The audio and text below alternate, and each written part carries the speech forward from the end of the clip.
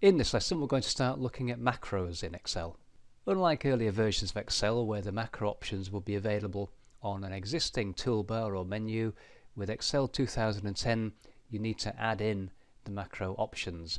And to do that I just right click on a toolbar, any toolbar will do, choose customize the ribbon and make sure you have main tabs in the customize the ribbon drop down and what you're looking for is the developer tab there so just make sure there's a check next to developer, click OK, and you will have this new tab available.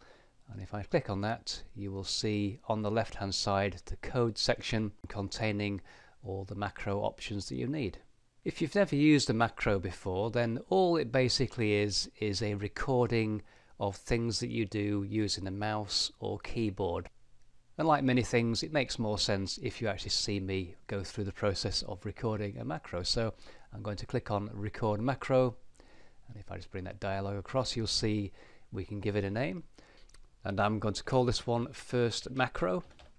And the next thing you can do is give the macro a keyboard shortcut. Now you have to be careful here because obviously there are many existing keyboard shortcuts such as Control C for copy, Control V for paste and so on.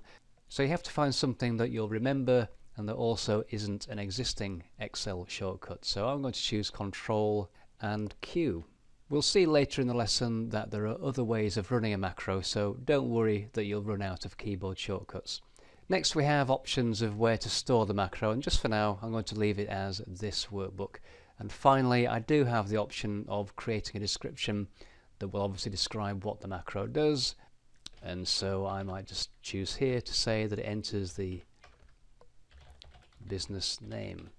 Because for this first example I'm simply going to have the macro type out the name Fred's Video Classics. So I've entered all the information I need for my macro, simply click OK. And uh, ah, right okay so what we have is an error message there telling me that the name that I've entered is not valid. And this is something that you do need to watch out for. The first one here might be my problem as it says, the name does not begin with a letter or an underscore. And indeed, my macro name begins with the number 1, so that's my problem. And if ever you see this message, simply click OK and just go back and fix the name. So I will instead call it Fred's Macro. And then click OK. So right now we're recording a macro and there are two indicators that will tell you that you're recording a macro. One of them is down at the bottom left of the sheet window and you'll see a small square and that square indicates that you're recording a macro and if you click on that you will stop the recording. And at the top left in the code section there's also a stop recording button which obviously wouldn't appear if you weren't recording. So that indicates that we are currently creating a macro.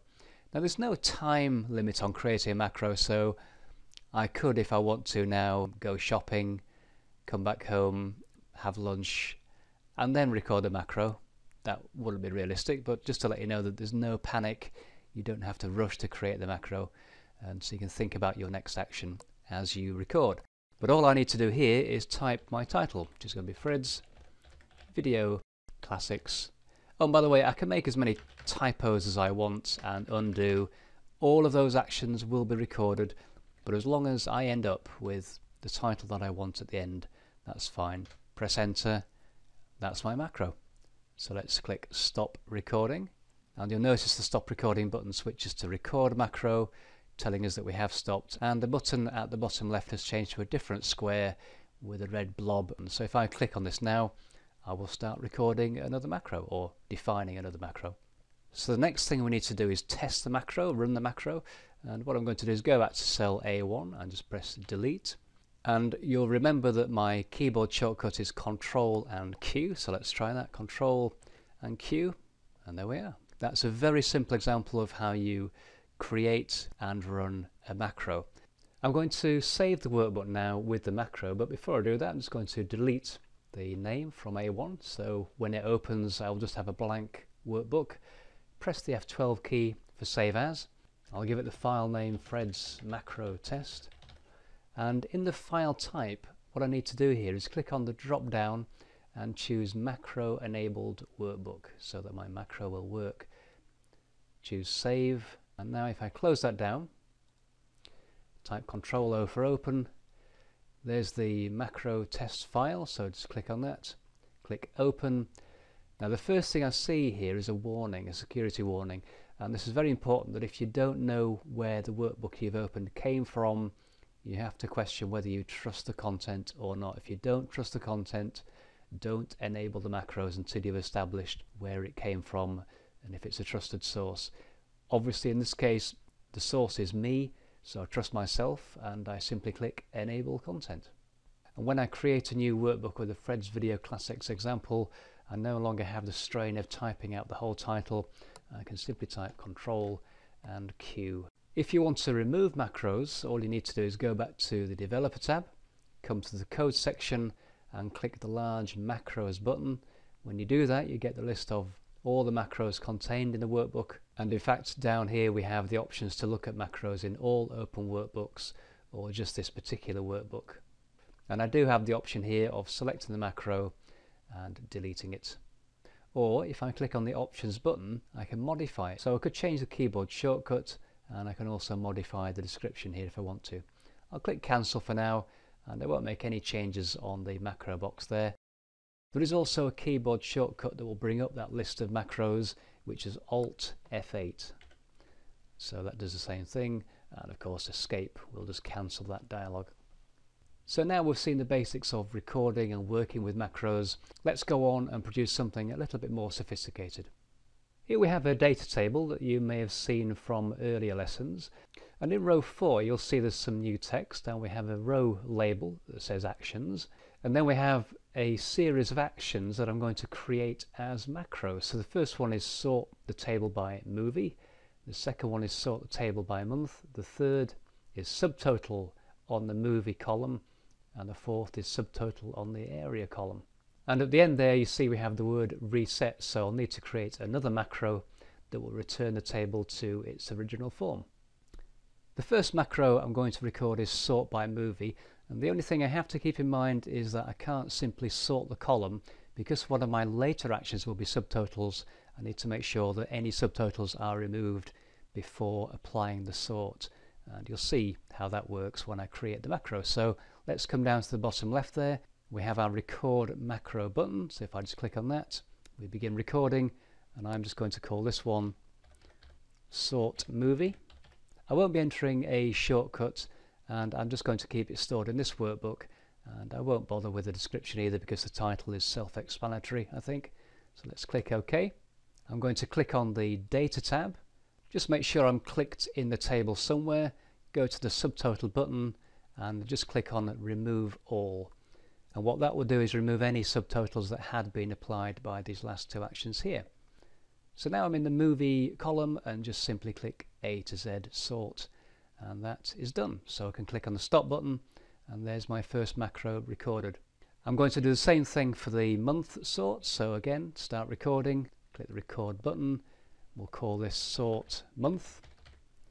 Again, just click OK. Remember I need to remove any subtotals that have been applied, so click the subtotal button first, click remove all, click into the month column. This time it's a slightly more complicated sort, and what I need to do here is go to the sort button change the sort by to screening month. Values is okay. I can't do a simple A to Z sort though, so I need to click on the drop down, go to my custom lists, and here's a custom sort list I made previously, which runs from September through to March. So I click OK, click OK, and there's my movies sorted by screening month. Click stop, and my second macro has been recorded. The next macro is to subtotal by movie. So again, just come down and click the record button there. And we'll call the macro subtotal movie. So with subtotal, just make sure you're clicked in the table.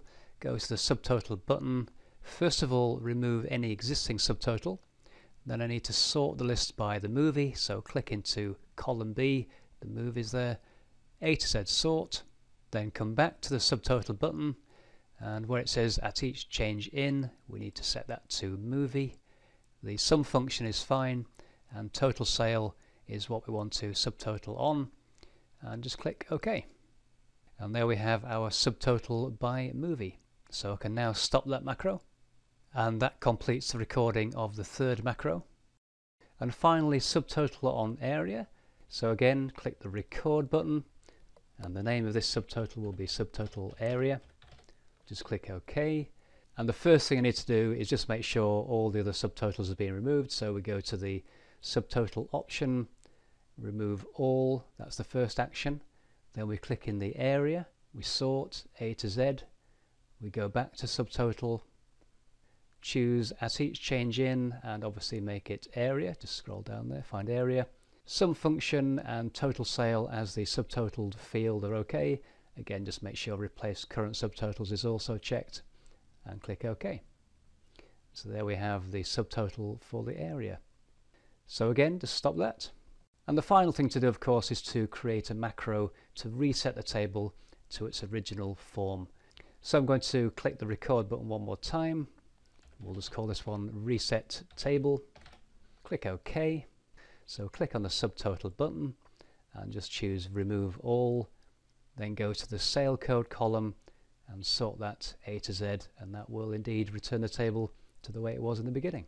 So I can now stop that macro and just saw there in a relatively short space of time we've been able to create those five macros for the table.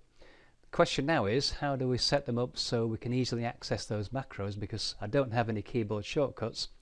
Well there's a couple of things I can do. The first thing I'm going to do is create a toolbar with those macros on. And to do that just right click in any existing toolbar and choose customize the ribbon. And on the right side we're going to create a new tab.